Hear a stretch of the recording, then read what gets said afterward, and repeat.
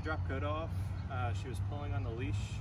She was kind of doing what she wanted to do. She's a nine-month-old German Shepherd puppy, so she had high energy, really wanted to do anything that she wanted to do, would listen to us occasionally when we had food. But after two weeks with Tank, Tank did a great job with her.